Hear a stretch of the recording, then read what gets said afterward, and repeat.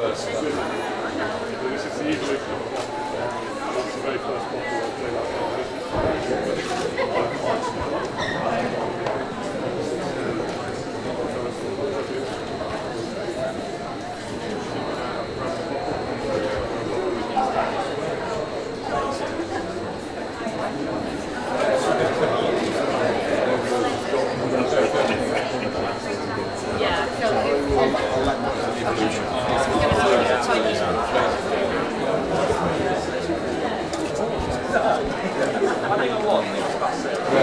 I think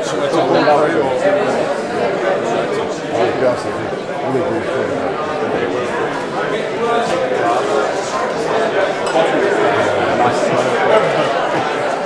Which one is it? Tribute indeed.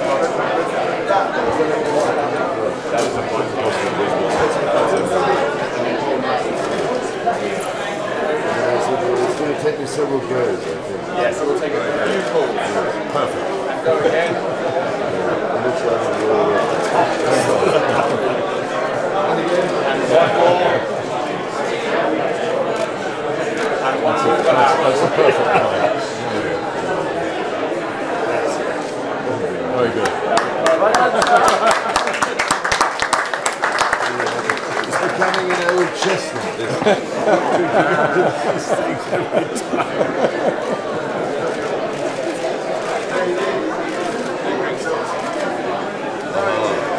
It's all right. Hits the spot. Stout. This is gorgeous. They all want one too. Get one. Very good.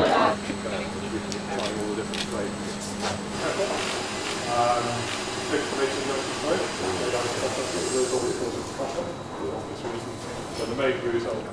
Matthew Dale, Paul, Paul James. It was a very sort of small grade, but it was um, small but perfectly formed. It's the only bar for its flavour profile and for brewing. he seems to.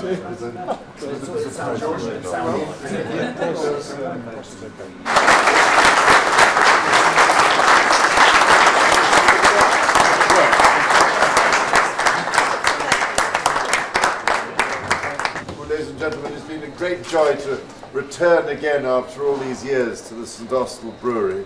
I have fond memories of the last time I came, and it's been very special to be able to meet one or two people who were here then, who seem to have done years and years in this remarkable brewery. But you've obviously grown and expanded since I was here, and, but I'm so glad that the family are still involved and that it has such a marvellous relationship with all the other pubs and, and so on in the area.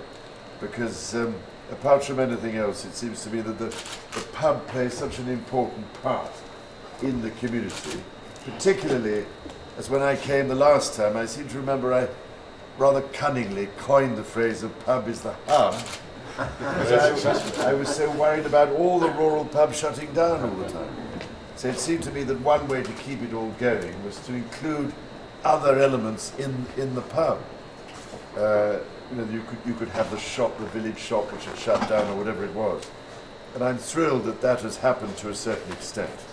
So uh, long may you go on brewing beer, and long may you go on finding even more exciting beers for the next time I come back. if I haven't lost everything by then.